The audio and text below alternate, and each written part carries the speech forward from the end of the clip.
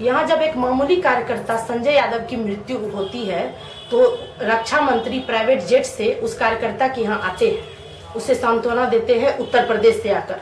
लेकिन हमारे दादाजी ने 25 साल जनता दल यूनाइटेड को दिया, शरद जी को दिया, नरेंद्र जी को दिया, लेकिन उनके लिए अभी तक कोई भी नहीं आया, न शरद जी, न और कोई वरिष्ठ नेता, न मंत्री, किसी के तरफ़ से कोई नहीं आया।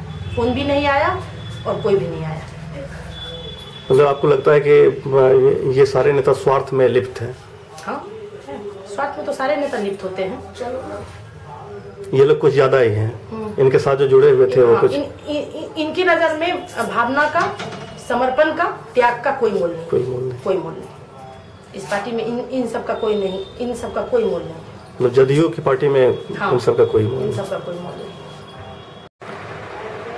आपको क्या लगता है कि उनकी स्वाभाविक मौत हुई या फिर राजनीति के कारण राजनीतिक हत्या कही जा सकती है उनकी राजनीतिक हत्या हुई है। बार बार स्वप्न दिखाकर स्वप्न तोड़ने पर जो एक व्यक्ति टूटता है अंदर से, और वो अंदर से सिर्फ़ उसके स्वप्न नहीं टूटते, उसकी जिजीविसा टूटती है, उसकी आयु क्षमता टूटती है, उसके शरीर की ताकत शून्य होती है, उसकी मानसिक ताकत शून्य होती है, वो हर बार नहीं, एक बार नहीं बार बार उनके साथ हुआ और बहुत बड़ा बड़ा कुठाराघात उनके उनके स्वप्न पर, उनके जीवन पर, उनके शरीर पर और उनकी निष्ठा पर हुआ।